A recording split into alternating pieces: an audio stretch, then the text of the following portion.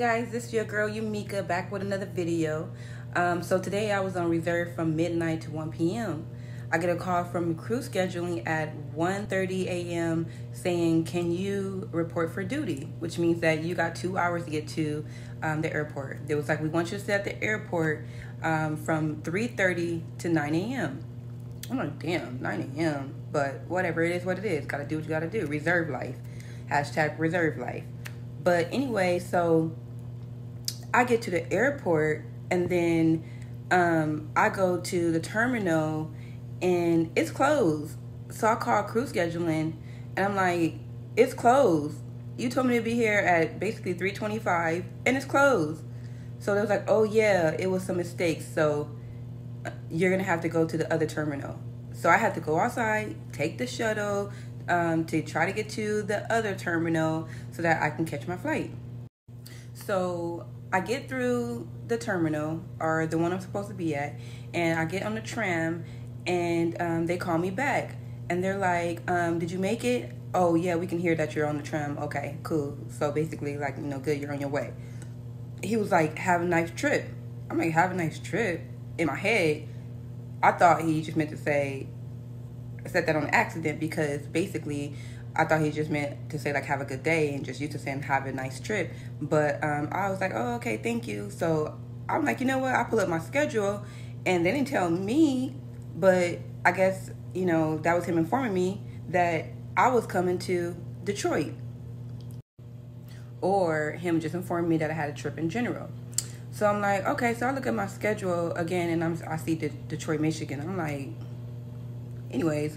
So I go up the escalator and one of the passengers I thought he was a captain, really, just in plain clothes. But one of the passengers, I guess, says, "Oh, you're here. Good. We've been waiting on you for six hours." I said, "You ain't been waiting for me for six hours, cause um I just got a call at 1.30 in the morning."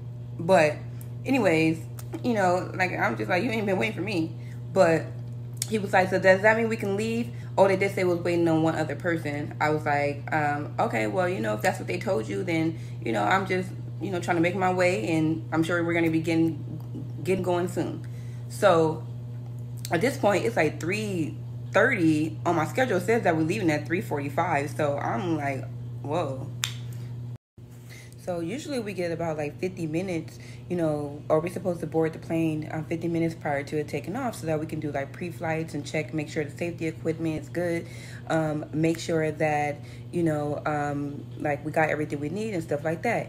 And um, basically, so I'm like, you know, let me get into this flight, but I ain't tripping because I'm thinking that okay, it's 3:30 in the morning, like we get back like at 10 or whatever. So I get on the flight, I'm talking to everybody or whatever, like yeah, like you know, we don't get back till till later on tonight, like you know, what I'm saying, like basically one, you know, o'clock in the morning. I'm like, what? Like no, I seen 11 a.m. They're like, no, you didn't. So I look at the schedule, and yes, it says like the next day. I'm like, damn, the girl didn't pack nothing. So excuse me, y'all. Actually, like I just went to go get something to eat. I spilled something on my shirt. Uh, your girl didn't even pack nothing um, in the bag because um, I just been for some reason packing light lately. So uh, your girl had one outfit and some underwears, like a few pair of underwears and some bras, and so your girl didn't really got nothing. So now that I'm um, actually, I get here, we get to the hotel, which the hotel's cool.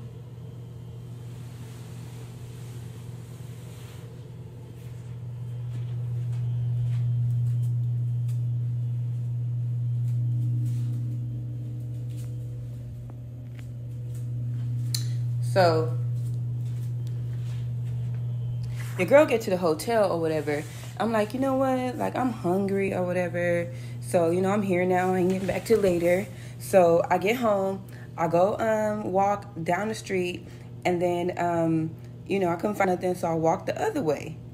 And so I walked the other way um, because there was one store down the street and basically that store didn't really have what I wanted, so I walked the other way. So I get to like this little restaurant or whatever, chilling, getting me something to eat, just sitting down waiting for my food. And so this dude walk in and he like, "You okay? You need a ride?" I said, "What you mean? Do I need a ride?" He was like, "Do you need a ride?" I said, "What are you talking about?"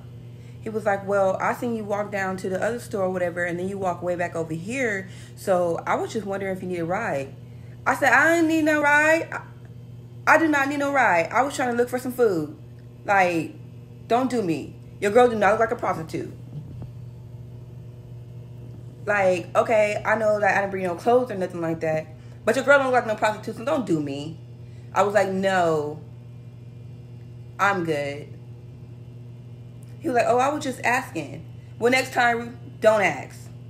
Okay? Shit. But anyways,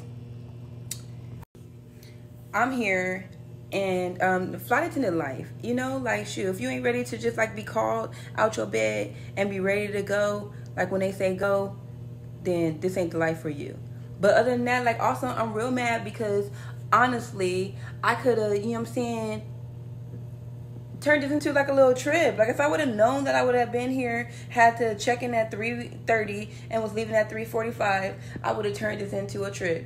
Like Mika would not be here by herself. Like y'all should have told me.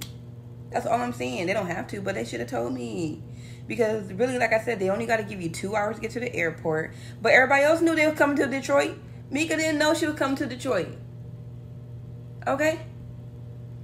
But anyways, you know, free room, you know, just this could have been a vacay, babe. Anyways, I just had to tell y'all. I just had to tell y'all about this story. But anyways, um, again, excuse my little, you know, dusty mark right here. But don't forget to like, subscribe, comment, and all the rest of the stuff y'all can do. Thank you. Don't just look at my video, look. Subscribe, okay? Your girl don't got a lot of subscribers because I'm brand new. But subscribe to your girl channel. Like, dang. And let me know what else y'all want me to talk about. Period. Reserve life. Hashtag flight attendant life. Period. Okay, y'all. So it's time to go home.